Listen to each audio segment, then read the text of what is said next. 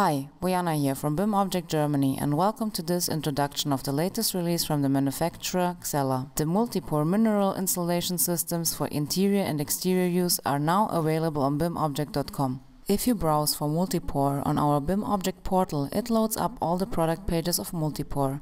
To get an overview how the system works, please take a look at the product page 00 Multipor General Information.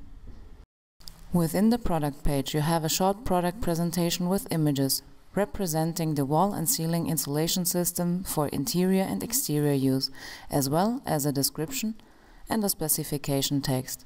For more information click on the Links tab and view specific data from the Multipor homepage. Further tabs include related information and the classifications. The tab Region gives you an overview about the regions in which this particular product is available or can be procured. Here, in the download menu, you can simply download the PDF documentation of the general information. So let's have a look at the product page of the mineral insulation systems. The composites are organized in wall and ceiling solutions. The composites with a DI at the beginning of their product name are Ceiling Solutions. By looking at the product group you will find the information too. In the download menu two different file formats are available. Simply download the Revit template file and open it in Revit 2015 or a later version. Here, in the Revit template file, you need to select the ceiling command. Before you sketch the ceiling, go to the properties and choose the Multipor ceiling solution. Now you can sketch the ceiling by creating a ceiling boundary. When you're done, simply finish the edit mode.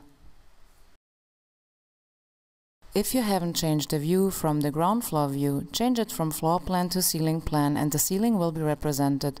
Within the type properties of the Multipor composite, you will find the information of the manufacturer and the link back to the BIM object product page. These products were made by using our BIM Object Mosquito tool, which is generating as well a 3D preview of the product. So here you can simply take a look at the 3D preview or you can get more information about this particular product. So back in Revit, select Edit within the type properties and you can view the composite structure. Here you can choose a layer and view the thermal properties like the specific heat or the thermal conductivity.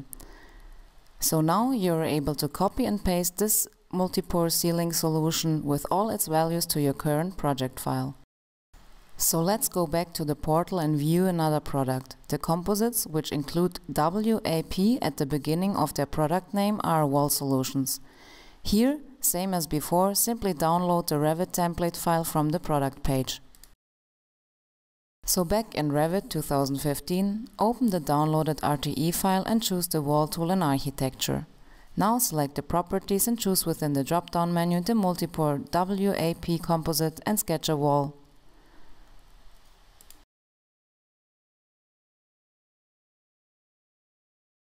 Within the type properties, same as for the ceiling solutions, you have the link back to the product page where you have downloaded the object.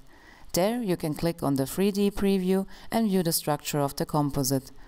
The same layer structure with all their thermal values you can view within the type properties by selecting the Edit button. Same as before, simply copy and paste this wall solution into your current Revit project. These products are available now on bimobject.com. Thanks for watching.